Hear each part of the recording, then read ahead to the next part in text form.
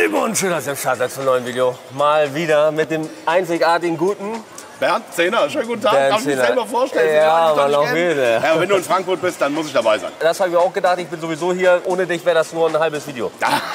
okay, ja, das höre ich gerne. Ja, danke. Ja, Bernd, du zeigst mir heute Chipotle hier, ne? Ja, ja, ja. Ich war schon mal hier vor kurzem, aber Ja. äh, ich habe nur gesagt, dass es auf jeden Fall mal ein Besuch wird. Es ist ja bei mir so, ich versuche immer unvoreingenommen in die Videos zu gehen und ich habe mir noch nichts von dem Laden angeguckt. Und Chipotle, ich habe mir nicht mal durchgelesen, eigentlich, ich habe nur gehört, das ist eine richtig große Nummer. Kannst du da was zu sagen zu, äh, zu der Aussage jetzt von mir? So wie ich das mitbekommen habe, gibt es zwei Läden in Deutschland äh, und beide sind in Frankfurt. Und äh, ich glaube, dass das eine, also das, sowas kann ich dir sagen, das ist eine Fastfood-Kette, die hier noch underrated ist. Die ist in den USA richtig groß, ne? Maßig, also richtig geil. Die machen Burritos, sie machen Tacos. Es ist so ein Tex-Mex-Ding, es ist keine authentische mexikanische Küche, aber ist dieses, wer dieses Tex-Mex-Ding fühlt, der ist hier richtig aufgehoben. Okay, also ich würde sagen, wir schnacken nicht lange. Wir gehen direkt rein. Ich gebe meine Meinung ab und dann gucken wir, ob sich das gelohnt hat. Jetzt das Video. machen wir mal äh, Guerilla-mäßig. Ja. ne? Ich bin heute komplett Katastrophe durch den Kopf, Leute. Mein Gehirn spielt Ping-Pong. Wenn ich noch ein bisschen verplanter bin als sonst, dann äh, ja, wundert euch nicht. Bernd ist schuld. Er hat mir gerade Angst gemacht, dass ich insolvent gehe. Äh, So schlimm war es nicht, so schlimm war es nicht.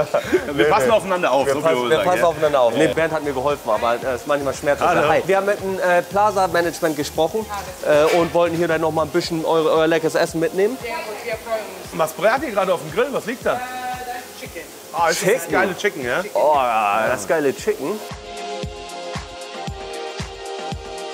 Aber das Ding ist, du suchst dir quasi oben aus Burrito, Bowl, Salat oder Taco. Und dann hast du hier quasi die Möglichkeit, aus den frischen und für dich vorbereiteten Toppings Ja. hier auszuwählen. Und Was ich immer sehr, sehr geil finde oder was mich direkt imponiert hat, die Dinger sind nicht voll bis oben hin. Wir haben jetzt Mittagszeit, die machen jetzt auf. Ne? Also Ja. da wird gleich hier was los sein auch. Und die, die machen das oft, die machen es immer frisch. Hier dürfen keine Fehler passieren. Nein, Mann. Also nicht wie bei Burger King auf einmal Ratten, die hier durch die Das Gegend wird es hier nicht geben, Nee, sag ich ne? dir ehrlich. Guck dir das mal an, Alter. Das ist einfach so der Gesamteindruck. Geil, okay, also ich habe verstanden. Wir nehmen eins davon. Schritt zwei ist deine Wahl. Richtig. Also ich würde den Burrito empfehlen, Ja. letztendlich, ne? so mein Ja. Ding. Und wir nehmen auch ein paar Tacos dazu. Auf jeden Fall, da haben wir jeder ein Burrito und Ja. ein paar Tacos zum Probieren. So, und jeder macht sich sein Burrito mit dem drin, was er gerne hätte. Steak machen sie auch.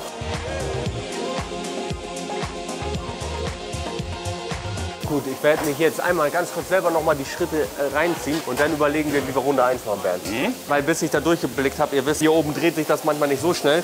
Die leiten einen durch den Weg für Leute wie mich. Absolut, so, ge- absolut. Geistig Behinderte. So weit würde ich nicht gehen, aber vielleicht soll man sagen, kognitiv eingeschränkt. Kognitiv eingeschränkt. Er hat mich bei Lebenshilfe vorhin abgeholt, sagen wir mal so.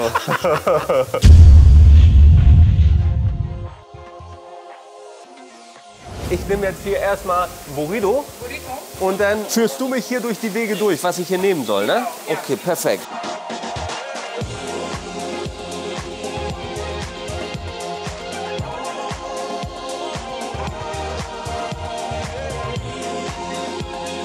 Nehmen wir Salat? Ich will dich nicht beeinflussen, aber diesmal würde ich darauf verzichten. Ja, wir nehmen das ohne Salat. Aber wenn du ihn fühlst, mach. Ja, wir nehmen das ohne Salat. Ach so, Taxi macht Salat. ach so, ja, egal, nehmen wir mit. nee, warte, nehmen wir mit, Nein, nein, ist auch ist gut, gut. ist gut, Ist gut.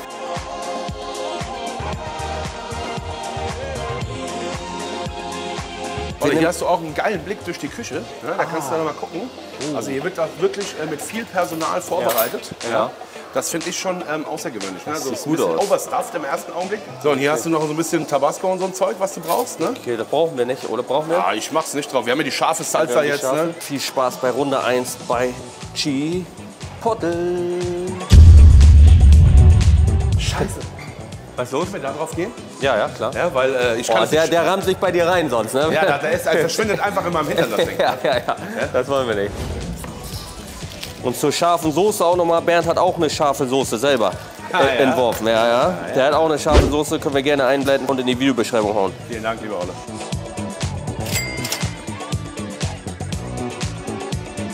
Seh mal wie ein Kind neben dir aus. Das stimmt. Rauchige Note. Rauchige Note. Das ist die Kruste, die Marinade vom Hähnchen, die sie da drauf haben. Ich habe nur den Reis probiert, habe das direkt geschmeckt. Hähnchenkarre, nur vom Reis, der färbt auf Schädelchen ab. Also Guck mal, weißt du, was ich jetzt mir äh, neuerdings, was ich wirklich sehr, sehr feiere? Der Charo, ne? Bismillah und rein damit. Mal, ja, ne? sagt er immer, ja. Das gefällt Sagst du mir. jetzt auch, ja? Ja, jetzt schon. Grüße gehen raus an Charo übrigens. Grüße gehen raus. Schöne Schärfe. Du hast direkt dieses Bohnenfeeling. Wie gesagt, wo du den Reis in den Mund genommen hast. Selbst beim Reis, die Marinade vom Hähnchen und das Hähnchen. Vom Feeling auf den Reis übergegangen. Man muss auch dazu sagen, die Dinger sind nicht dafür gemacht, die durchzuschneiden. Ne? Die lassen sich normalerweise richtig schön von oben nach unten durchessen. Nicht, dass nachher einer unten reinschreibt, jo, das Ding fällt auseinander und so. Nee, das ist schon sehr gut gerollt, wenn du es einfach runter isst wie ein Dürüm. Ne? Da ist Koriander aber diesmal drin. In der Guacamole auf jeden Fall. Schöne Frische. Die scharfe Soße, nicht so brutal, wie ich erst gedacht habe, aber präsent. Aufs Ganze abgewälzt, dämpft das auch noch ein bisschen ab. Der Reis nimmt natürlich ein bisschen was davon, ne? aber auch der ist saftig, gut gewürzt. Geile Marinade vom Hähnchen, also wirklich richtig rauchig, geil. Die Bohne, Avocado, das bringt so eine gewisse Cremigkeit in das ganze Ding. Ich muss sagen, ich habe oft Burrito schon gegessen, die haben mich immer enttäuscht. Immer, Immer, immer, immer. enttäuscht Burritos. Dieser nicht, dieser echt nicht. Weil sie sind immer so basic, schmeckt wie ein Chili con Carne, eingewickelt in Und hier hast du aber gesehen, das ist strukturiert aufgebaut und auch beim Schnitt ein wunderschönes Schnittbild. Ne? eben noch die Frische von der Sour Cream gehabt. Also das ist wirklich eine geile Kombi.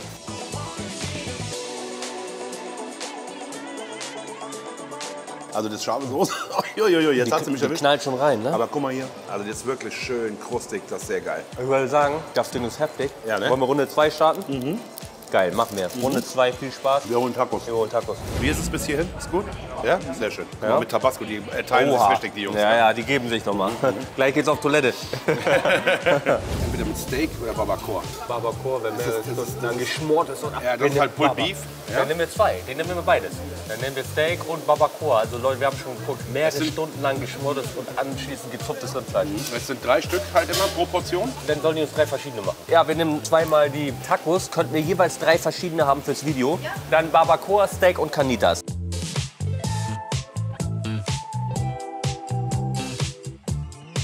Wir nehmen wieder die Schafe. Yeah!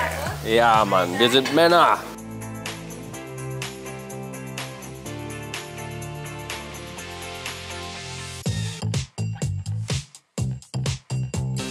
Guck mal, wie sie das da drauf packt. Ne? Das macht sie nicht zum ersten Mal. Nee, nee, die, die ist Profi. Die, die weiß, was sie mit dir Die Händen weiß, macht. wie es läuft. Ja.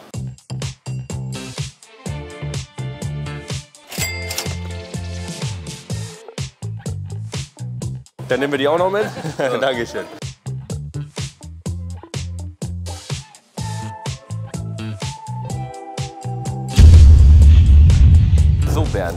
Kriegst hier mal den hier. Ey, yo, Baby. Du hast das ja schon abgefilmt gerade. Beim letzten Mal habe ich mir so noch Salat drauf machen lassen, weil dieser knackige Romana-Salat, ich dachte, das gibt einen schönen Crunch und so. Das hat mir aber hier zu viel vom Fleischaroma weggenommen. Weißt Ja. du, da war so ein Berg Salat oben drauf. Jetzt will ich das so ursprünglich. Also ja? muss man ja so sehen. Jede Zutat, die extra drauf ist, klaut dem Fleisch so ein bisschen äh, an, an Power. ja, ja. Mit was fangen wir an? Barbacoa oder Steak? Dann nehmen wir Barbacoa zuerst. Okay, geil. Das mit gezupftem Rind ist das, ne? Quasi ein Pulled Beef, ne, wenn du so willst. Ja.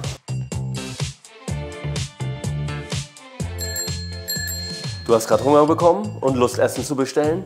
Sichere dir jeweils 10 Euro Rabatt auf deine ersten beiden Bestellungen bei der Uber Eats App mit dem Code HOLLE. Du setzt es an, du hast erstmal den typischen geilen, geschmorten Rindercharakter. So wie man es kennt. Also um uns euch das zu erklären, das ist jetzt nicht special, irgendwie Mexican angehaucht. So als halt Papa zu Hause. Barbecue gemacht, ne? So. Ja. ja. Wieder die Schärfe, die Große Stücke. Ich finde, beim Pulled Beef ist es oft so, dass es sehr schnell zu breiig ist. hat trotzdem noch Biss, ne?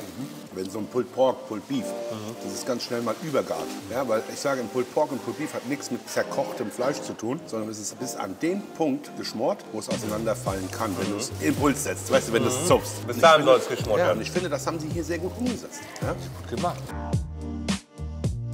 Gehen wir auf Steak oder Schwein jetzt? Lass uns noch mal Schwein hier.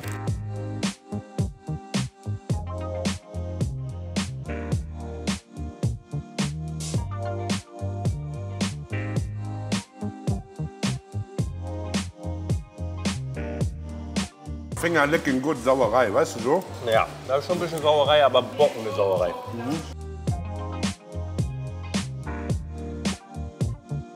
Ich bin ja nicht mehr der größte Pulled Pork Fan. Ich glaube, ich habe einfach zu viel davon gefressen. Ja? Aber so in der Form mit den Gewürzen macht es mir Spaß. Ja, muss man ehrlich sein. Ich finde, es ist ein bisschen ähm, defensiver als jetzt das Ja, ja. Ich feiere die Guacamole, kann man nicht anders sagen. In dem hier wiederum eine geile Pfeffernote noch drin. Ja, das ist die Pfeff der hat eine Pfeffrigkeit, da gebe ich dir absolut recht. Und hier ist, glaube ich, gefühlt auch bei mir war so ein bisschen weniger Salsa drauf. Der ganzen Sache gut getan. Und auch hier wieder große Stückchen Schwein drin. Ne? Also es gibt was fürs Geld. Ja, Steakstücke. Steakstücke, da bin ich auch sehr gespannt. Sind die zart, sind die nicht zart? Da sind die Steakstückchen noch.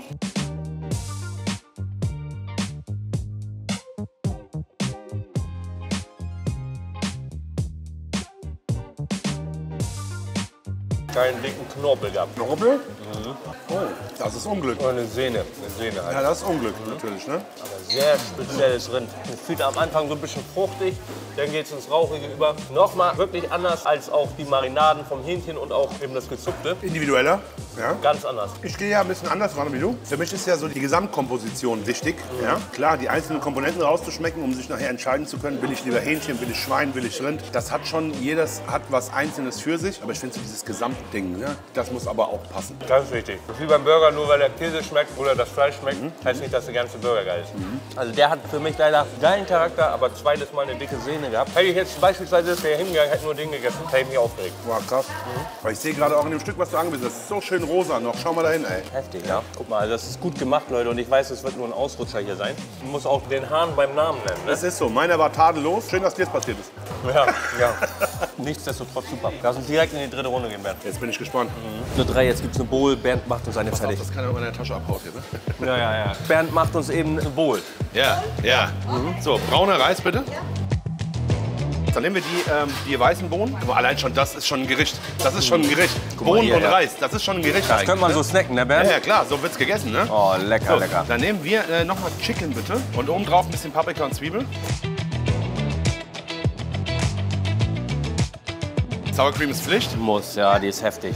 Käse ist Pflicht. Ein bisschen Guacamole.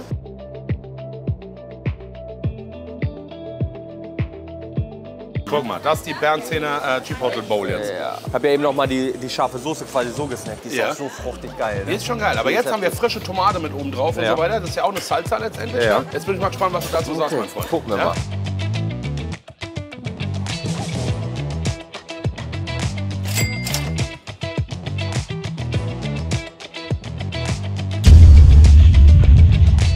Wir hier mal rein snacken direkt, ne? Guck mal, ich habe das Chicken wieder genommen, weil ich weiß, dass dir das gut geschmeckt hat eben. Ne? Also, und das sah auch gut aus, weil ich habe gesehen, das, was eben auf dem Grill lag, haben die eben geschnitten und vorne rein. Das heißt, wir haben ganz frisch. wir haben ganz frisch jetzt. Ne? geil, Das äh, wollte ich haben. Und ich habe diesmal darauf verzichtet, es äh, sonderlich scharf zu machen mit der scharfen Salsa, weil wir die jetzt schon zweimal hatten. Nein, genommen, wir haben die normale Salsa genommen. Einfach nur Tomate, ein bisschen Zwiebel, dies und das. Aber dafür habe ich uns hier drüben, Tabasco steht bereit. Und das ist das äh, Chipotle, also aus geräucherten Chili. Und davon mache ich uns jetzt ein paar Tropfen oben drauf.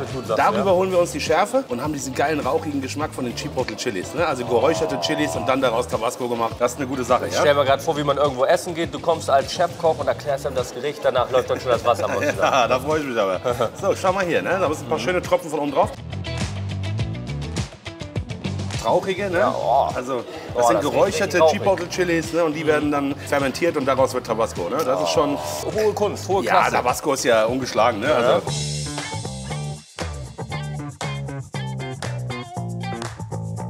allem bin ich gespannt, was du auch zum braunen Reis sagst. Dicke Stücke Huhn, geil gegrillt.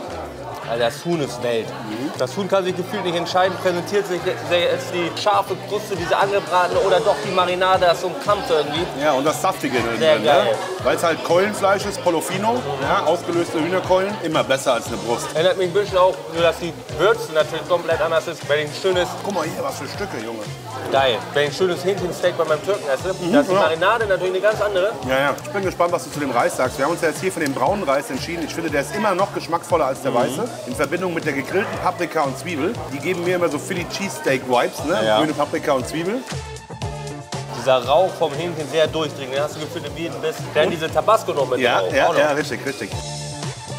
Ich sag dir ehrlich, so vom, vom Erlebnis her ne, ist der Burrito gut, aber ich mag diese Bowl auch. Ich bin kein riesen Bowl-Fan, aber die ist krass. Ein Löffel wäre geiler, ne? Ja, wäre besser. Gegrillte Paprika, rote Zwiebeln, geiles Huhn. Hier haben wir einen Perfect Bite, sehe schon. Der Reis mit den Bohnen, schön mit Zitrone oder Limette, Mhm. haben den angemacht. Super heftig. Geiles Essen. Das von der Kombi ist wirklich Welt, Leute. Bestellt euch die Benziner Bowl hier. Genauso wie wir gemacht haben. Ihr müsst mir sagen, ist das schlechtes Essen? Nein. Ist es Fast Food? Kann man eigentlich so gar nicht sagen, ne? Aber es ging schnell. Ging also schnell. es ist irgendwie schon Fast Food, ne? Ja, super Essen. Wenn du trainieren warst und dir denkst, geh ich zu McDonalds oder hier, ich will einigermaßen mir noch was Gutes geben, dann gehst du safe hier. Ich weiß nicht, wie das ist, wenn man trainieren war, aber ich kann es mir vorstellen. Der hier spielt auch. ja, der geht auch. Ah ja, Digga. Der braune Reis natürlich viel besser als der verarbeitete weiße. Ja, klar. Das heißt, das hier, ich sag mal so, über den Käse können wir ja vielleicht streiten jetzt oder so. Ne? Aber alles in allem ist das ein gesundes Mittagessen hier. Ja. Pass auf, Bernd. Was unterscheidet weißen Reis von Vollkornreis? Was es unterscheidet? Ja, der ist geschält, ne? Gespelzt und geschält. Gespelzt, sich Gespelzt glaube ich auch. Ich glaube, das ist richtig auch. Ich laber gerne viel Scheiße und das sage ich dann aber auch noch dazu. Korrigiert mich bitte in den Kommentaren. Ich, wenn ich was weiß, weiß ich. Wenn ich es gerade mutmaße, dann mutmaße ich Ist Aber ich glaube, äh, geschält und gespelzt. Ist das durch die Sportlerernährung, hast du dich mit dem Thema befasst, nehme ich an, oder? Ich habe mich viel mit Ernährung befasst, aber was groß und ganz einfach hängen geblieben ist, was ich essen will, gut finde und was, womit ich mich gut fühle. So diese ganzen Insider-Infos hinken so ein bisschen, weil es lange her ist. Aber ja, dann wollen wir zur Bewertung oder Ich was? bin gespannt, was du sagst. Wir gehen zur Bewertung, die machen wir gleich draußen, damit wir nochmal einen spannenden Szenenwechsel haben. Aber das war stark. Das war stark. Wir snacken auf, dann gehen wir raus. Wo ich auch fasziniert bin, ne, Bernd, jetzt gibt es ja gleich die Bewertung, aber das ist ein Frauenteam, die rocken das da, die sehen richtig ne? dynamisch aus. Also an die Frauenwelt, Respekt. Ja, tipptopp. Äh, Tibi-Tobi. Also, ich kann das gut zusammenfassen eigentlich. Ich mache folgendes, weil ich ja auch in dem Game gar nicht groß drin bin. Ne? Und Ja. ich mir immer sage, wenn ich jetzt zu hoch bewerte, was ist, wenn da jetzt jemand kommt und sagt, geh mal in die USA, geh mal nach Mexiko, Ja. ist da mal so. Da habe ich einfach kein, keine Frage. Referenzen. Ja. Deshalb werde ich erstmal im Gesamten, bis auf eine Sache, 9 von 10 Punkten geben. Oh, ja. Hm. Ja, nur das eine, wo die, wo die ganzen Szenen drin waren. Da, das kann, ist natürlich da schwer. kann ich dann nicht mehr als. War trotzdem super lecker, 6,5, aber das wird man sonst nicht haben. Ihr habt schon gegessen, das war wahrscheinlich einfach ein Zufall. Wirklich Unglück einfach. Ja. Ne? So, das War geisteskrank, dass die performen. Aber ihr, also es ist eine Momentaufnahme, was wir Ja. machen. Ne? Also ich bin ja sowieso, bei mir gibt es nie ein Ranking so richtig ne? und mir gibt es auch keine Punktzahlen. Ich sage, es ist auf jeden Fall eine Empfehlung wert. Wer Bock hat auf Tex-Mex-Küche mit authentischen Flavern, mit frischen Zutaten, ist bei Chipotle auf jeden Fall gut aufgehoben. Ja, Mann. Und wer Bock hat auf geilen Content, Bernd Zähne abonnieren in der Vielen Videobeschreibung. Und ich sag dir danke fürs dabei sein. Danke, Holle. Kuss, Kuss. Ciao, Vielen ciao, Dank, ciao. gerne wieder. Haut rein, ihr Lieben. Ja, bis zum nächsten Mal. Und gerne Daumen oben knallen lassen.